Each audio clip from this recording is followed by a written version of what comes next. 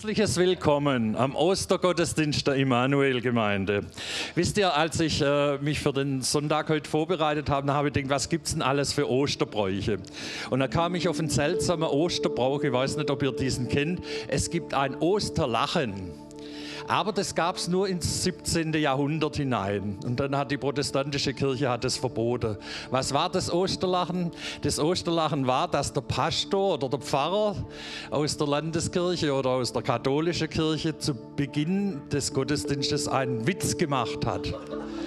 Und da hat dann die ganze Gemeinde gelacht, es soll diese Freude einfach aufbereiten, die Jesus eben uns gebracht hat durch die Auferstehung.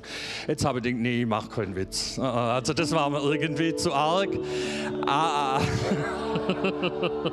Okay, ich überlege mir es dann aufs nächste Mal.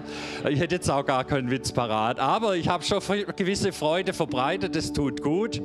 Äh, aber ich habe gedacht, wie wäre das, wenn wir uns gegenseitig mit einem lachenden äh, Gesicht anschaut und unsere Freude im anderen gegenüber einfach einmal rüberbringen und sagen, das, was so viele Christen an Ostern sagen, du, der Herr ist auferstanden. Und wenn ihr wollt, könnt ihr das sagen, er ist wirklich auferstanden. Sagt doch das einmal links und rechts zueinander.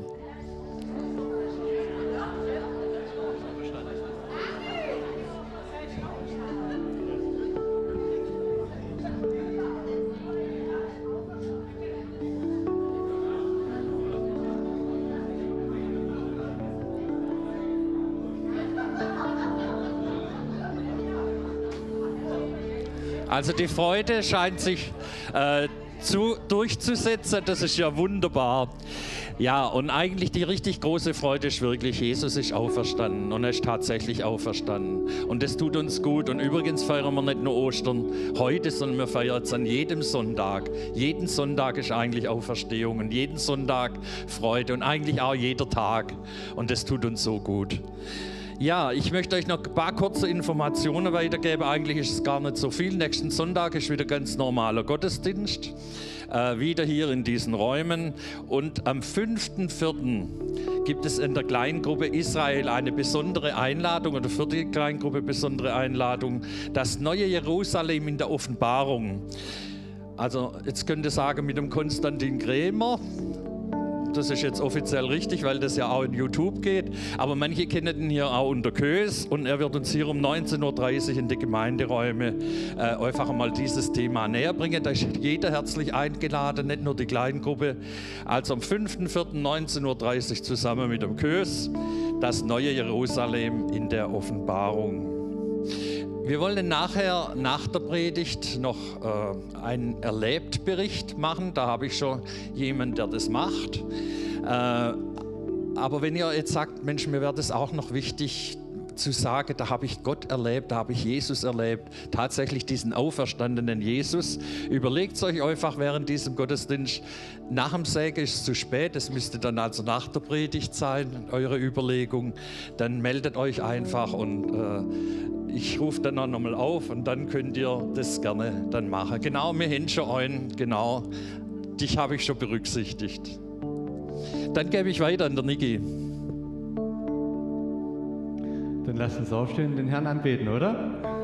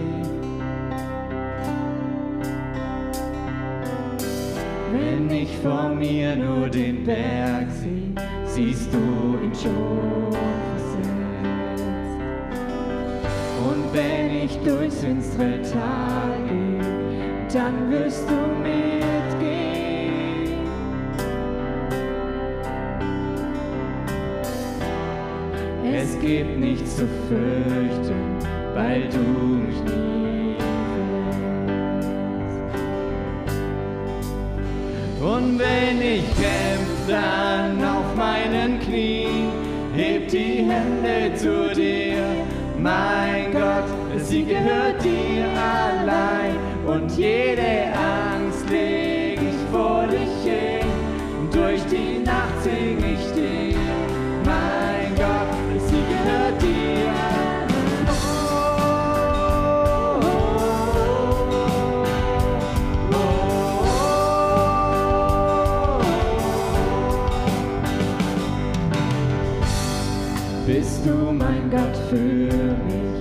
Stille.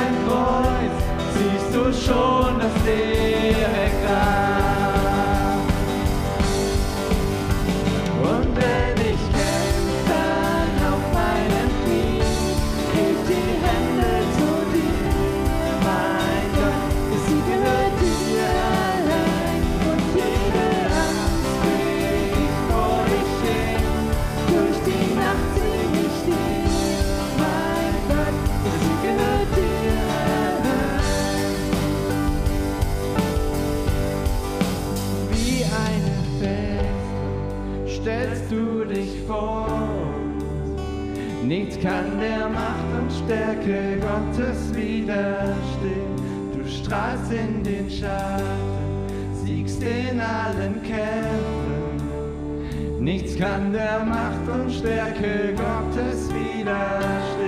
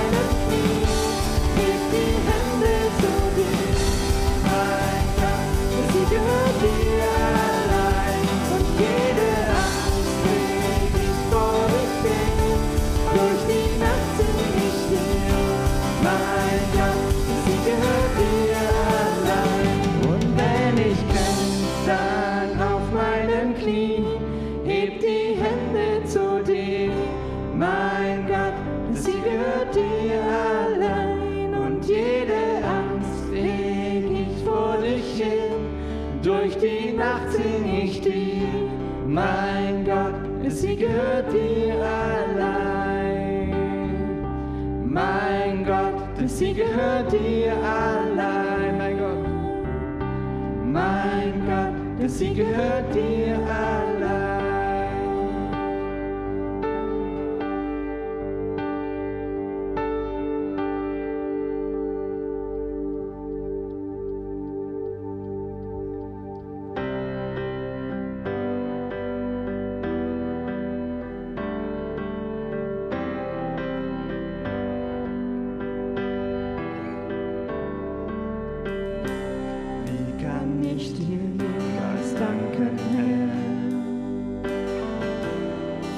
has suffered us to.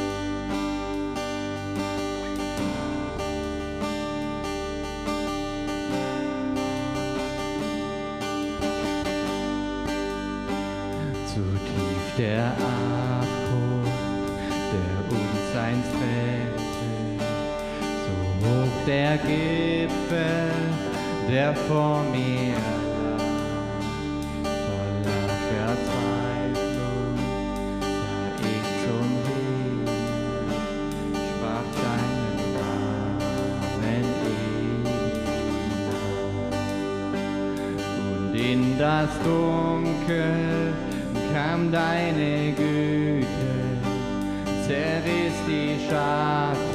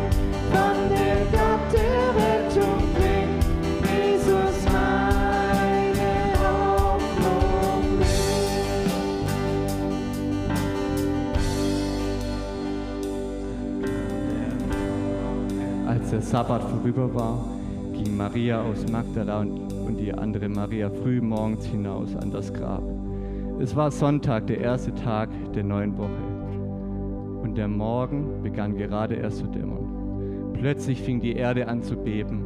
Ein Engel des Herrn war vom Himmel herabgekommen, hatte den Stein von dem Grab beiseite gewälzt und sich draufgesetzt. Er leuchtete hell wie ein Blitz und sein Gewand war weiß wie Schnee. Die Wachposten stürzten verschreckt zum Boden und blieben wie tot liegen. Der Engel wandte sich an die Frauen. Fürchtet euch nicht, ich weiß, dass ihr Jesus, den Gekreuzigten, sucht. Er ist nicht mehr hier, er ist auferstanden, wie er es vorher gesagt hat. Kommt her und seht euch die Stelle an, wo er gelogen hat, gelegen hat. Lasst uns den dritten Vers einfach mit Überzeugung singen, dass er heute Morgen auferstanden ist, dass er den Tod besiegt hat und der Tod keine Macht hat. Dann kam der Morgen, so wie verheißen. Sein toter Körper ist neu erwacht. Mit lauter Stimme hast du verkündet, kein Grab hat nun Anspruch mehr auf mich. Dann kam der Morgen,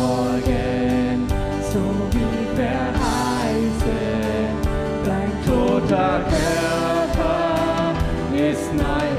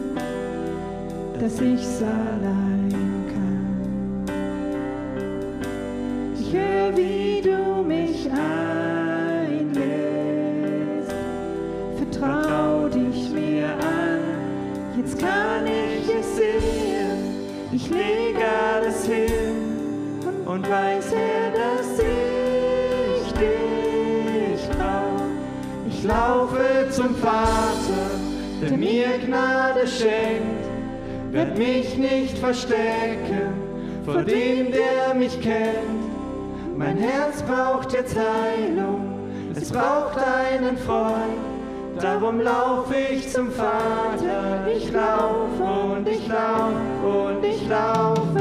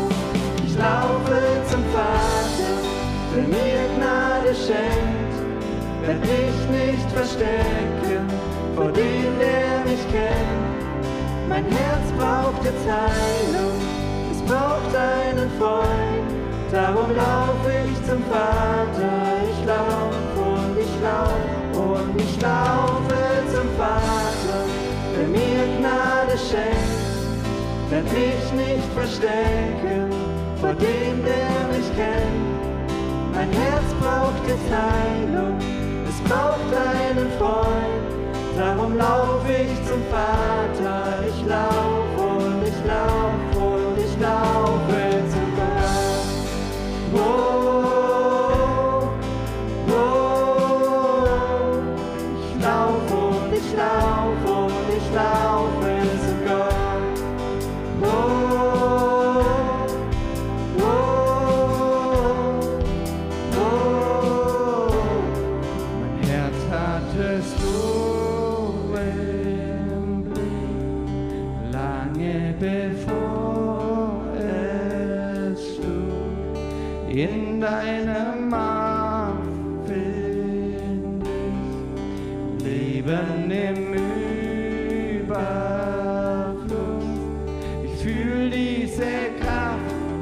ganz tief in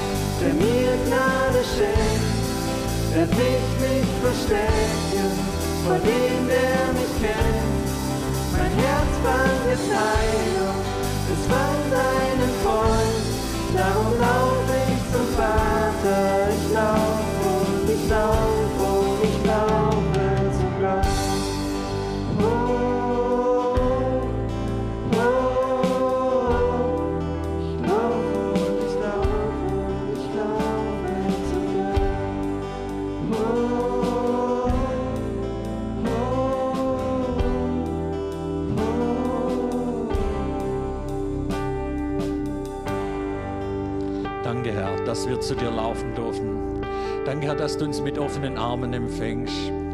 Danke, Herr, dass wir wirklich geborgen sind bei dir. Danke, Herr, dass mit allem, was uns bewegt, in unserem Herzen und in unserem Leben, Herr, dass wir das vor dich bringen können, Herr. Danke, dass du uns hörst, dass du uns siehst, dass du uns kennst und dass du um uns weißt. Danke, Herr, dass wir dir wichtig sind. Wir sind dir so wichtig, dass du, Jesus, sogar ans Kreuz gegangen bist und am dritten Tag wieder auferstanden, damit wir Leben haben. Jesus, ich danke dir dafür, dass wir jetzt so bei dir sein können, Herr. Ewiges Leben haben, durch das, dass du den Tod besiegt hast und den Feind besiegt und wir jetzt ganz auf der Seite Gottes stehen. Halleluja, Jesus. Und ich denke, das ist nochmal so ein Riesenapplaus wert, was Gott für uns getan hat.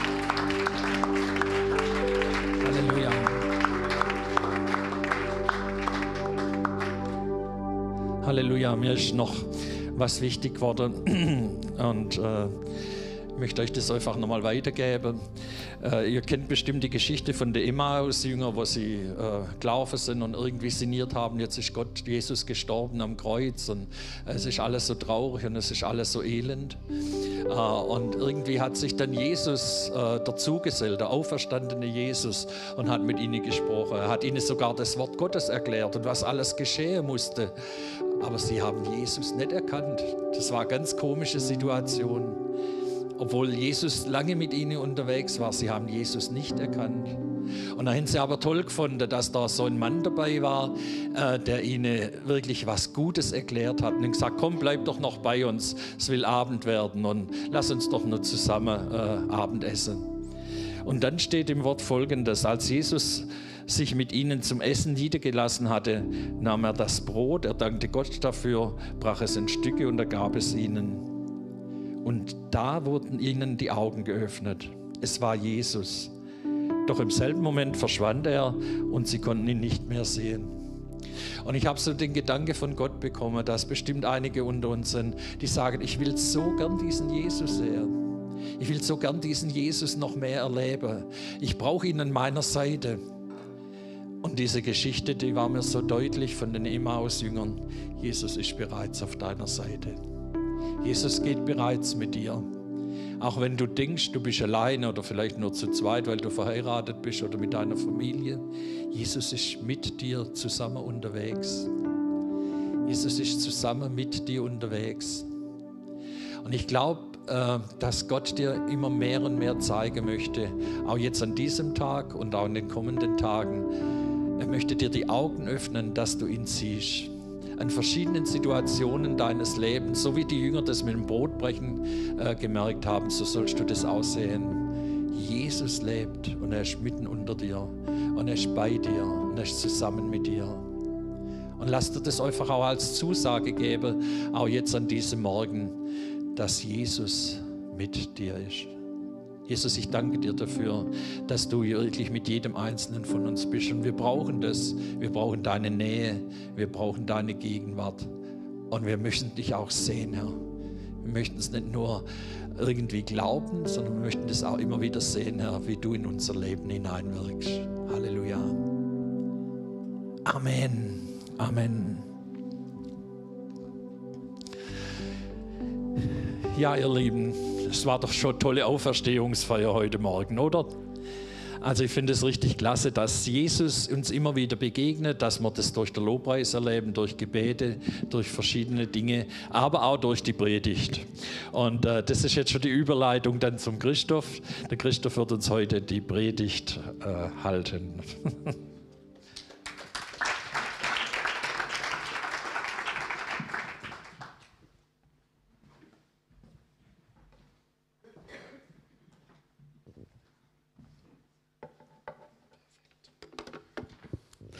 Ja, vielen Dank, Jürgen, und euch allen frohe Ostern. Jesus ist auferstanden. Wie genial, oder? Und ähm, der Jürgen kennt jetzt die Punkte nicht im Detail, die jetzt gleich kommen in dieser Predigt, ähm, aber es war die perfekte Einleitung. Und ihr werdet feststellen, er hat eigentlich genau das auch gesagt, was ich hier gleich predigen werde, ähm, ohne das jetzt im Detail zu wissen. Er kannte den Titel und den Rahmen, aber nicht die Inhalte. Das ist echt erstaunlich. Ja, ähm, wenn wir an Ostern denken, und der Jürgen hat es gerade schon gesagt, ja, interessant ist doch auch an diesen Ostergeschichten, wenn man die sich ein bisschen anguckt, ähm, es waren ja nicht nur die Emmaus-Jünger, die Jesus irgendwie nicht gleich erkannt haben, stimmt's? Da gab es doch noch mal jemand. Und dieser Person ging es sehr ähnlich. Sie ist Jesus begegnet und hat es erst gar nicht gemerkt. Sie dachte, es ist der Gärtner. Aber okay, das hat sich dann aufgeklärt.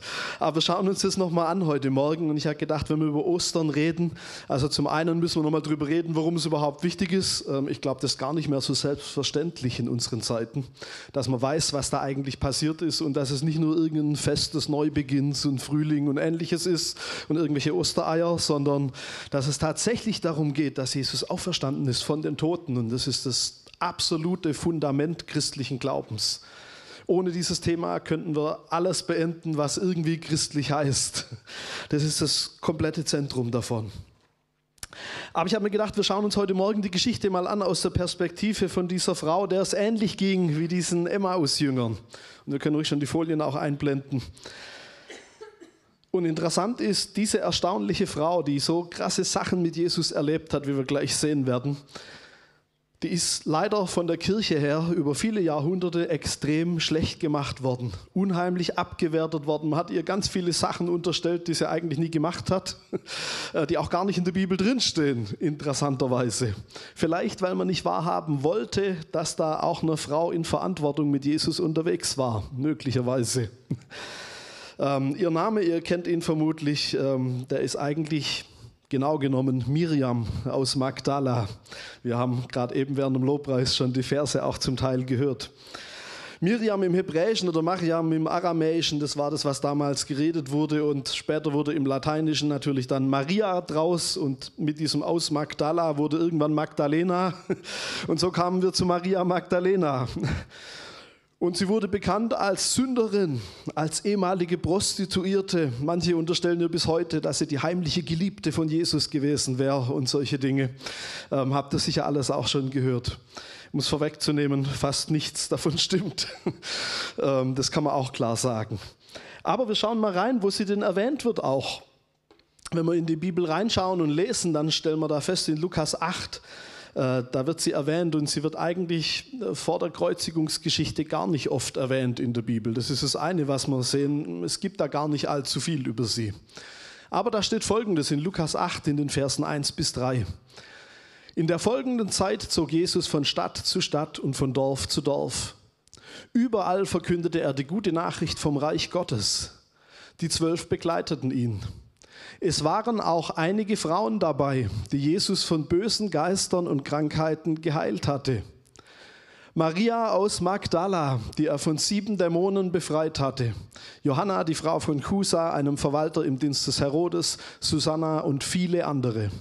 Sie alle unterstützten Jesus und die Jünger mit dem, was sie besaßen interessant. Da wird es das erste Mal erwähnt und natürlich, es fällt uns gleich ins Auge, sieben Dämonen. Ui. Und wir ahnen schon, wie diese Geschichte mit der Sünderin zustande kommt, äh, dass man das natürlich daraus interpretiert hat. Und es gibt ja noch eine zweite Geschichte, die man ihr gerne in die Schuhe schiebt in den Evangelien, nämlich ein paar Tage vor dem Tod von Jesus, als er in Bethanien ist, in so einem kleinen Dorf vor Jerusalem, beim Abendessen. Und dann kommt diese Frau mit diesem kostbaren Salböl und salbt ihn da von Kopf bis Fuß und trocknet seine Füße mit ihren Haaren ab und so weiter. Diese Sünderin heißt an der einen Stelle bei Lukas. Ähm, interessant ist, dass gar kein Name fällt. Und aus der Geschichte heraus hat man oft gesagt, das muss die Maria Magdalena gewesen sein, die das gemacht hat. Habt ihr vielleicht auch schon gehört, nur es stimmt halt einfach nicht. Sie war es gar nicht.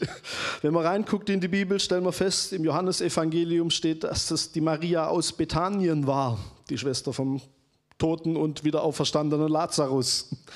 Und bei, bei Markus und Matthäus, da ist, fehlt gar kein Name, da wird nur von einer Frau geredet, noch nicht mal von einer Sünderin so im Detail. Interessant, oder? Nirgends steht, dass es diese Maria Magdalena war, aber alle glauben es. Spannend.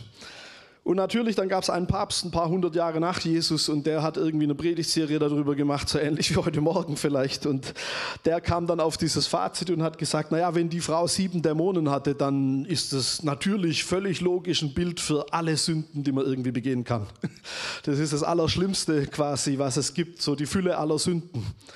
Und klar, Papst, unfehlbar und so. Meine, ihr wisst, wie das funktioniert. Was soll man da noch sagen? Das hat sich natürlich dann durchgesetzt, diese Idee. Jetzt steht hier folgendes, dass diese zwölf mit Jesus unterwegs waren und der Teil kommt uns ziemlich bekannt vor. Und dann steht hier aber auch, dass es einige Frauen gab, die offensichtlich auch mit Jesus unterwegs waren. Und vom Deutschen her ist es ja eigentlich gar nicht so glücklich, denke ich oft, weil man würde das hier so lesen und sagen, ja, die Frauen, die waren halt auch dabei, stimmt's? Die zwölf, die haben den eigentlichen Job gemacht und die Frauen, keine Ahnung, das war das Catering-Team oder was auch immer. Das war ein bisschen böse gesagt. Äh, so lesen viele diesen Text bis heute leider.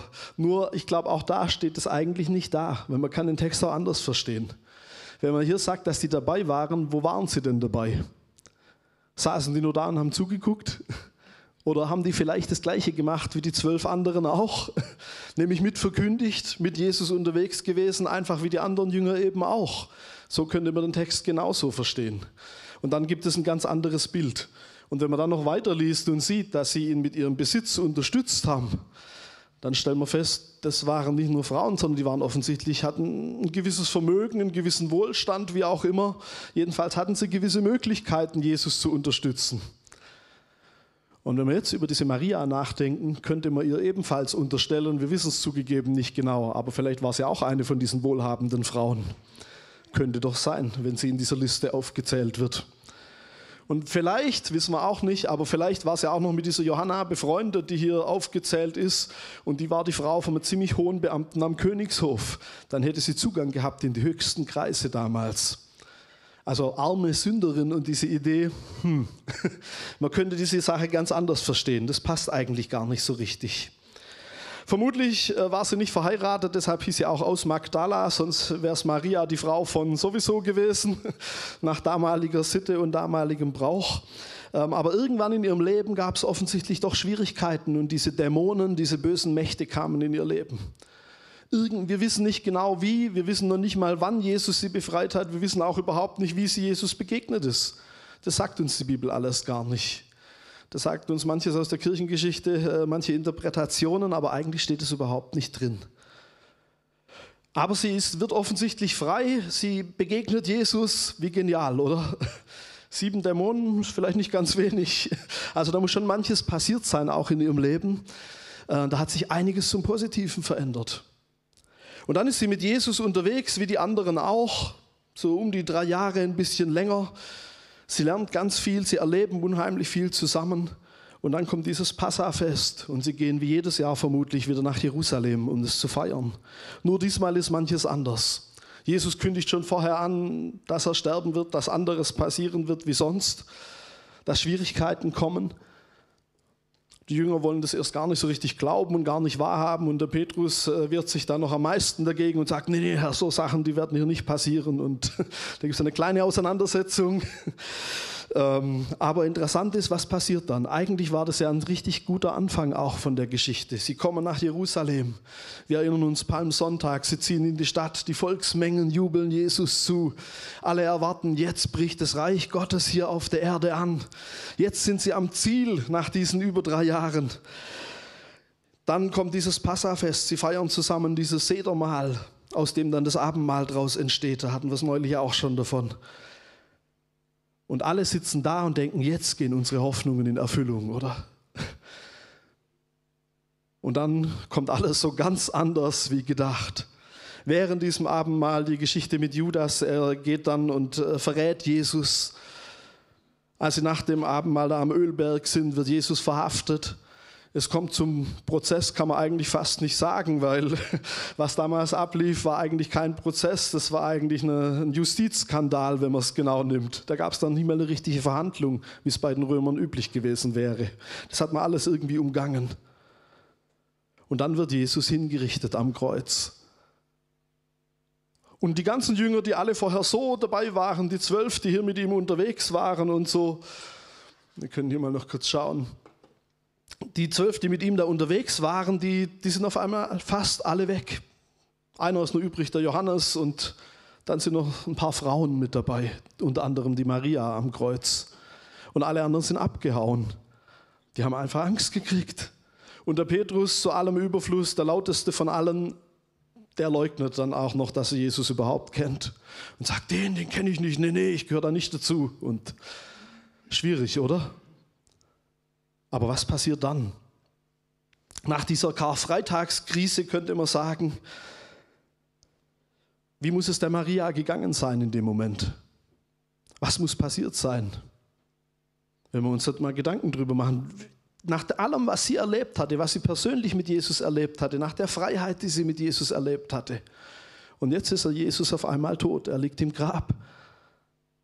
Alles vorbei, hätte man doch meinen müssen. Alles, alles umsonst gewesen irgendwo. Und vielleicht kennen wir diese Zeiten ja auch immer wieder in unserem Leben, wo wir sagen, hey, ich, ich sehe einfach nicht mehr, wie es weitergehen kann. Ich weiß einfach nicht, was noch passieren soll. Vielleicht ist es bei dir die Krankheit, die immer für Schmerzen sorgt und die einfach nicht besser wird in deinem Leben. Vielleicht ist es ein Kinderwunsch in eurer Beziehung, der einfach nicht zustande kommt. Vielleicht sind es zerbrochene Beziehungen, Leute, zu denen du keinen Kontakt mehr hast, die richtig schwierig geworden sind. Vielleicht sind es aber auch tiefe Zweifel am Glauben insgesamt. Wo du sagst, hey, ich weiß nicht, das mit, diesem Jesus, das ist alles doch irgendwie ein bisschen arg abgedreht und jetzt auch noch Auferstehung und so. Wie kann das wirklich wahr sein? Kann man das wirklich glauben? Ich weiß nicht, was es bei dir ist, wo, wo wir unsere Hoffnungen vielleicht zerbrochen sind. Vielleicht ist es auch das Thema Tod in unserem Leben dass wir jemanden verloren haben, der uns sehr nahe stand und der vielleicht in unseren Augen viel zu früh gestorben ist. Vielleicht ist es auch unsere eigene Angst vor dem Sterben, vor dem Tod, der unausweichlich irgendwann kommen wird. Ich weiß nicht, was unsere Herausforderungen heute Morgen sind, wie es bei dir aussieht. Aber vielleicht bist du heute Morgen auch hier und denkst so, schaust so in die Zukunft und denkst, wo ist da die Hoffnung des Ganzen? Das Leben kann manchmal nicht einfach sein. Und ich glaube, wir gehören noch zu den wenigen Prozent auf diesem Planeten, die noch ziemlich viele gute äußere Umstände haben, um es mal so zu formulieren, ähm, und die in einem wahnsinnigen Luxus eigentlich leben. Aber viele andere auf diesem Planeten haben das alles nicht. Da sind die Situationen oft noch viel schwieriger. Aber zurück zu Maria. Nach diesem katastrophalen Wochenende und dann war auch noch der Schabbat, da konnte man dann nichts machen. Ähm, dann beginnt eben diese neue Woche. Und wir schauen jetzt gleich mal sozusagen live rein in das Ganze und schauen mal, wie es dann weiterging, was dann passiert ist an diesem Morgen. Wir haben es ja vorhin auch schon ein bisschen gehört und vielleicht können wir jetzt mal kurz das Video die nächsten dreieinhalb Minuten laufen lassen.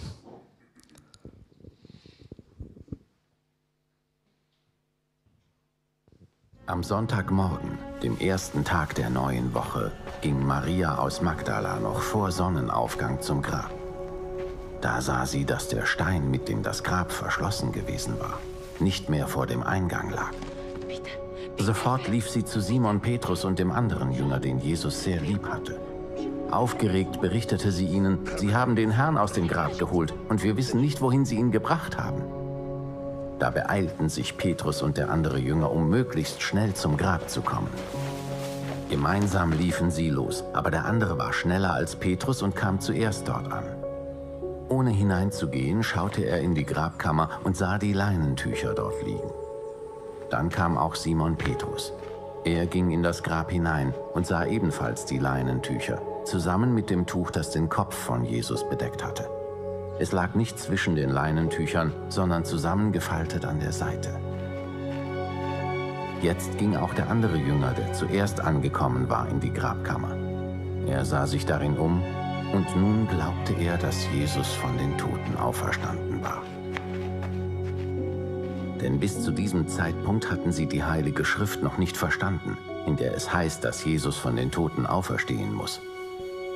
Danach gingen die beiden Jünger nach Hause zurück.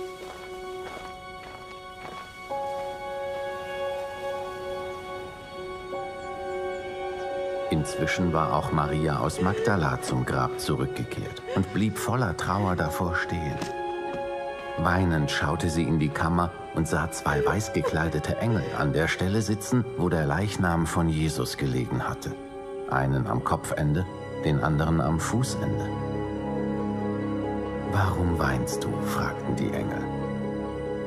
Sie haben meinen Herrn weggenommen und ich weiß nicht, wo sie ihn hingebracht haben, antwortete Maria.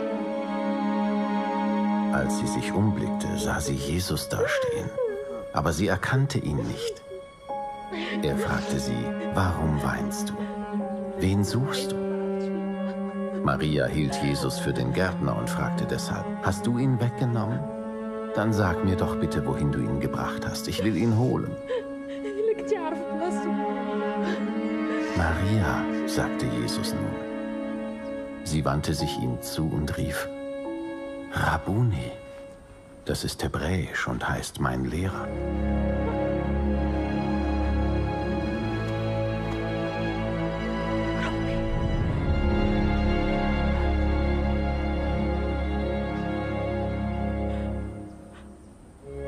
Jesus sagte, halte mich nicht fest, denn ich bin noch nicht zu meinem Vater in den Himmel zurückgekehrt.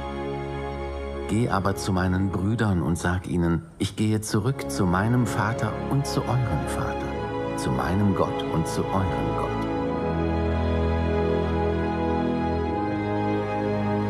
Maria aus Magdala lief nun zu den Jüngern und berichtete ihnen, ich habe den Herrn gesehen. Und sie erzählte alles, was Jesus ihr gesagt hatte.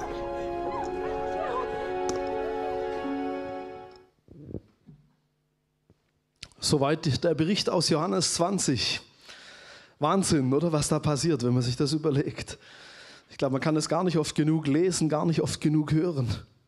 Und interessant ist doch, wenn wir den Bericht genauer anschauen, ich weiß nicht, ob es euch aufgefallen ist, die Maria dreht sich zweimal um in diesem Bericht.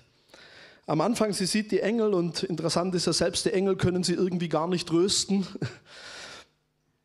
sondern sie wendet sich um, sie schaut zurück. Man könnte unterstellen, sie ist eigentlich schon am Weggehen vom Grab. Und dann stellt sich ihr jemand in den Weg. Jesus. Aber das erkennt sie erst gar nicht. Sie denkt, das ist der Gärtner. Wie kann das passieren? Sie war doch über drei Jahre mit diesem Jesus unterwegs, oder? Wieso erkennt die ihn nicht? Meine, es gibt viele Theorien drüber. Die einen sagen, sie hatte so viel Tränen in den Augen, dass sie ihn einfach nicht klar gesehen hat. Hm. Ja, vielleicht, vielleicht auch nicht. Vielleicht war es aber auch eher eine geistliche Geschichte, wenn wir auch an die Emmaus-Jünger denken, als es heißt, dass ihre Augen aufgetan wurden. Vielleicht war das bei Maria einfach auch ähnlich. Wir wissen es nicht genau jedenfalls. Aber sie erkennt Jesus erst gar nicht. Interessant, dass es bei uns manchmal auch so ist, oder? Der Jürgen hat es vorhin schon super gesagt. Ist es nicht manchmal bei uns ähnlich, dass wir sagen, hey, wir erkennen Jesus auch nicht in der jeweiligen Situation? Ich weiß nicht, wie es euch geht, aber wie oft fragen wir uns, wo ist denn jetzt Jesus in dieser Geschichte? Wo ist er denn?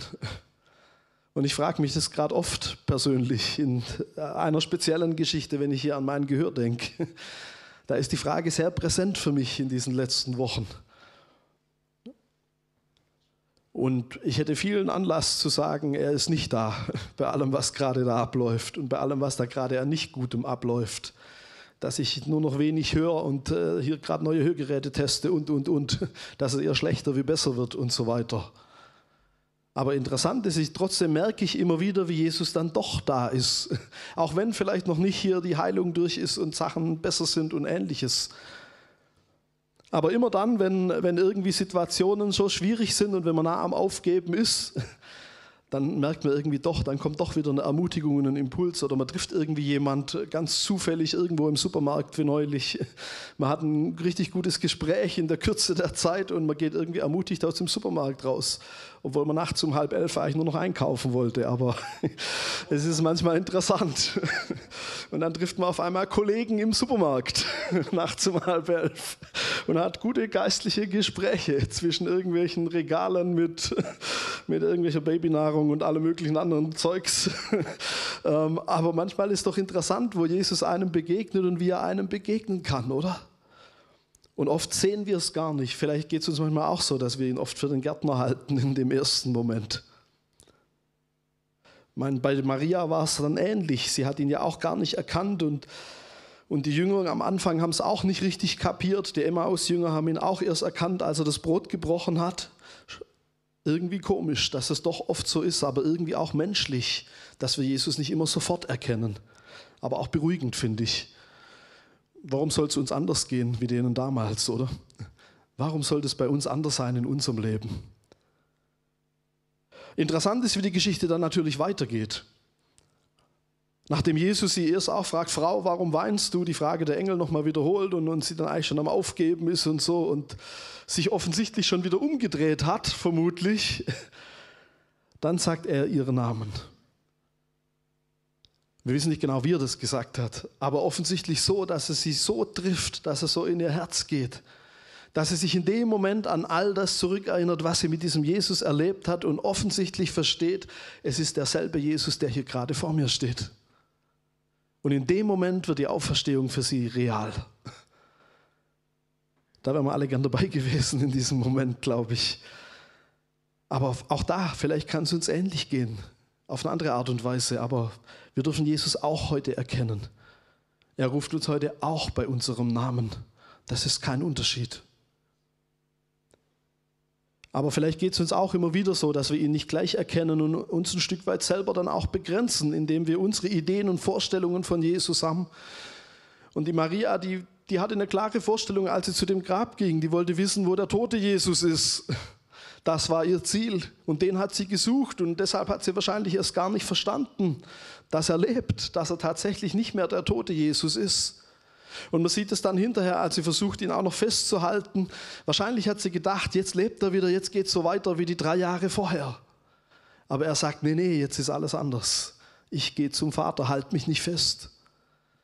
Vielleicht ist es bei uns manchmal auch so, dass wir dieses Bild, diese Vorstellungen von Jesus immer wieder auch loslassen müssen. Dass er uns neu begegnen darf, auf eine andere Art und Weise, wie wir es vielleicht kennen. Und sie hört ihren Namen und dann begegnet sie diesem Jesus, dem Auferstandenen, dem Sieger über den Tod, demjenigen, der nie wieder sterben wird, der den Tod überwunden hat bis in alle Ewigkeit, dem Erlöser, der alle Schuld und Sünde dieser Menschheit auf sich genommen hat und dafür bezahlt hat, der Liebe in Person. Aber diesen Jesus, den erkennt sie erst auf den zweiten Blick. Ich glaube, das ist bei uns auch immer wieder so, dass wir diesen Jesus erst auf den zweiten Blick sehen vielleicht auch auf den dritten, vierten, fünften Blick. Aber das ist kein Problem für diesen Jesus, sondern er wartet da trotzdem genau drauf. Und dann geht die Geschichte weiter. Wir sehen hier, am Anfang sieht sie ihn nur verschwommen. Und dann erkennt sie ihn klar, nachdem er ihren Namen gesagt hat. Und dann geht sie zurück zu den Jüngern, die wir gerade gesehen haben, und sie sagt, ich habe den Herrn gesehen. Und ich glaube, da steckt mehr drin, als nur zu sagen, ey, wir wissen jetzt, Jesus lebt wieder, sondern das ist eigentlich auch ein Glaubensstatement, was sie da weitergibt. Der Vers taucht ein paar Mal in der Bibel auf. Natürlich hier im Johannesevangelium, als die Maria sagt, aber ein Prophet Jesaja, lange vor Jesus, der sagt was ganz Ähnliches, als er eine Vision von Gott hat und vor Gottes Thron ihm begegnet und sagt, hey, ja gut, er ist nicht ganz so begeistert am Anfang, weil er sieht, ich habe so viel Sünde in meinem Leben, eigentlich hätte ich es jetzt verdient zu sterben in diesem Moment. Aber dann begegnet ihm Gott mit unglaublicher Gnade, ein Engel kommt mit so einem Kohlenstück und so, eine ganz krasse Vision.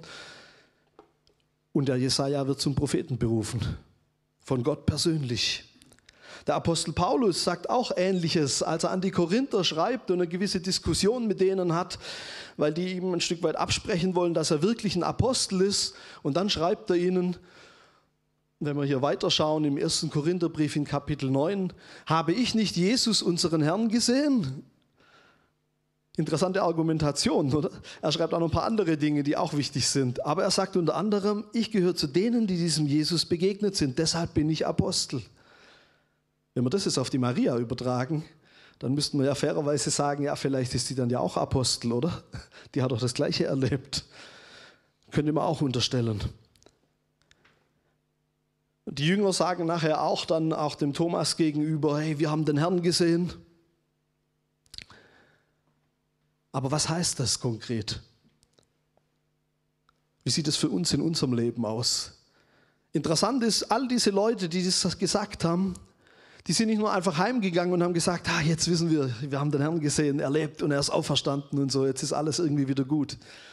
Sondern das war immer auch ein Auftrag für die.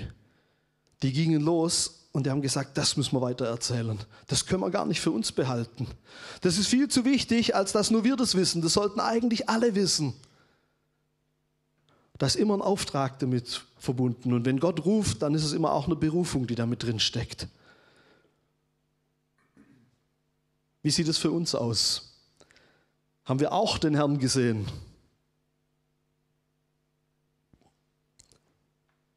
Sind wir ihm auch begegnet?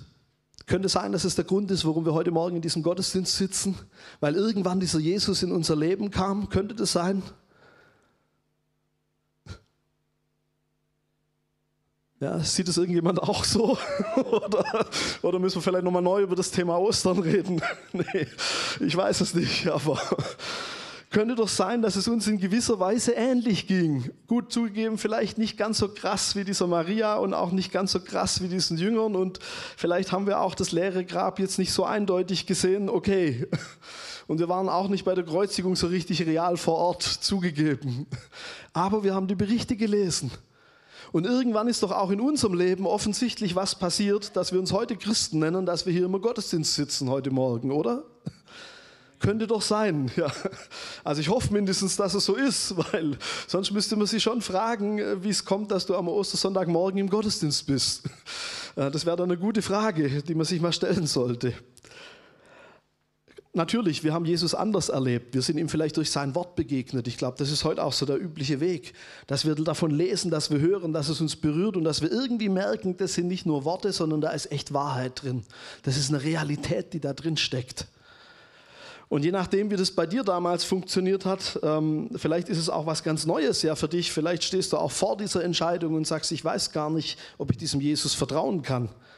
Aber bei mir war das damals so, ich war elf Jahre alt und diese Gemeinde hatte praktisch gerade angefangen damals. Es war ganz am, in der Anfangszeit.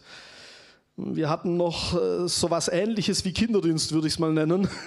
So den ganzen, den kleinen Anfang, nicht vergleichbar mit dem, was heute an Kindergottesdienst läuft. Und da waren wir noch mit dabei. Und an einem Sonntag war da das Thema, dass Jesus neues Leben schenkt. Und ich damals elf Jahre alt, ich hatte ganz viele andere Dinge im Kopf, aber nicht Jesus und neues Leben zu dem Zeitpunkt, ganz sicher nicht. Aber irgendwie hat mich das angesprochen an dem Sonntag und ich weiß das bis heute noch, fast 33 Jahre später.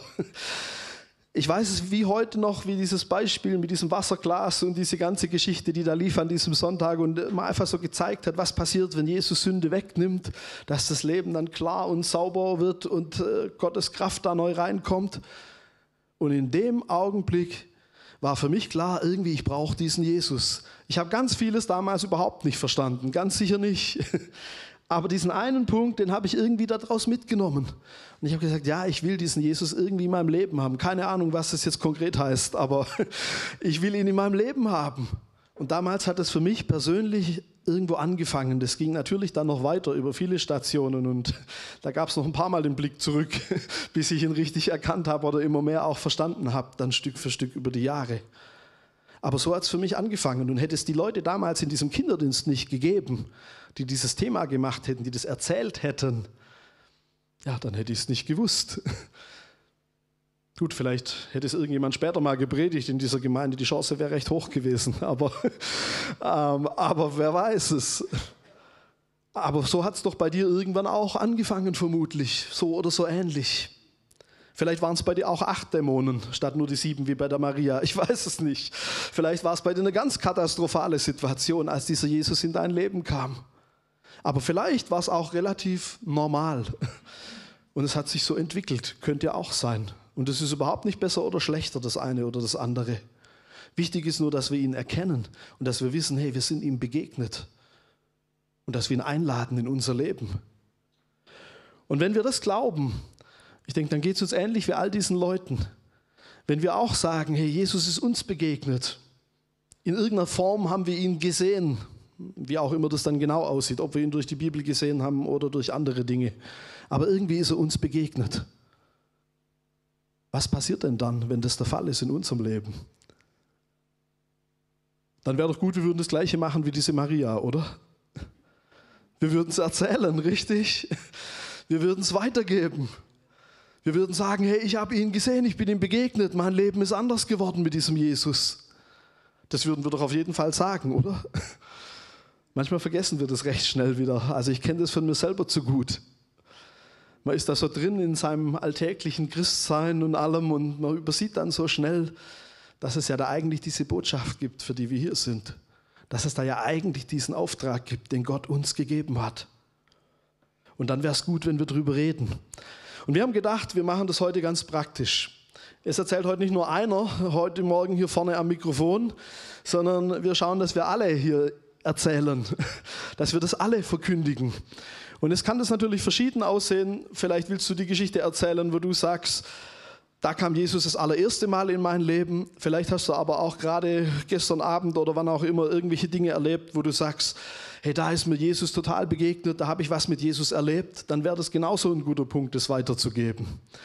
Aber ich würde an der Stelle jetzt auch an den Jürgen weitergeben, der uns mit reinnimmt, so ganz praktisch in das Ganze. Ich würde noch kurz dafür beten und dann wollen wir uns einfach eine Zeit nehmen, wo wir uns austauschen, wo wir gemeinsam darüber reden, was dieser Jesus in unserem Leben getan hat und tut. Weil ich glaube, dass es unheimlich ermutigend ist und dass es unheimlich wichtig ist, dass wir uns auch immer mehr daran gewöhnen, dass es eine Normalität ist, dass wir darüber reden, über diese Dinge. Dass wir die nicht nur für uns behalten. Das ist so schade eigentlich, weil das könnte so viele andere ermutigen. Aber lass uns noch mal kurz einen Moment des Gebets nehmen und hey, vielleicht zeigt dir, erinnert dich Gott an irgendeine Geschichte, wo du sagst, hey, die sollte ich doch eigentlich weitergeben. Und wir werden dann gleich auch einen gewissen Rahmen finden, wo man das praktisch machen kann. Aber lass uns doch einfach auch mal offen für Gott sein an dem Punkt heute Morgen. Jesus, danke, dass du auferstanden bist von den Toten. Danke, Herr, dass wir dir begegnen dürfen. Dass es nicht irgendwas ist, wo, wo wir sagen müssten, ja, das, das passiert so ganz im Geheimen und wir behalten das nur für uns oder, oder ist es nur für wenige Auserwählte oder so. Nee, sondern dass du gesagt hast, du willst jedem Menschen begegnen mit deiner Liebe. Du bist nicht nur für ein paar wenige gekommen, sondern für die ganze Welt. Und danke, dass wir wissen, dass du wirklich lebst, dass das eine Realität ist, dass das nicht nur ein nettes Märchen ist oder irgendeine symbolische Geschichte oder so, sondern dass es die Wahrheit ist, Herr. Dass du lebst und dass es möglich ist, dir heute zu begegnen. Danke dafür. Danke für diese Gnade, mit der du uns auch begegnest. Und du siehst ja, wie oft sehen wir dich auch nur als den Gärtner oder als irgendjemand anderen und haben völlig übersehen und vergessen, wo du eigentlich am Wirken bist in unserem Leben. Vielleicht, weil wir so andere Vorstellungen manchmal haben, wie das aussehen müsste oder sein sollte. Aber danke, Herr. Danke, dass du da uns, uns in deiner ganzen Gnade begegnest, so wie der Maria damals auch. Und danke, dass wir uns neu zu dir hinwenden, zu dir umdrehen dürfen, auch heute Morgen. Und dass du neu zu uns reden willst dass diese Botschaft von Ostern, dieses Du lebst, ich habe den Herrn gesehen, dass es auch unsere Botschaft wird, Herr, immer mehr. Danke dafür. Amen.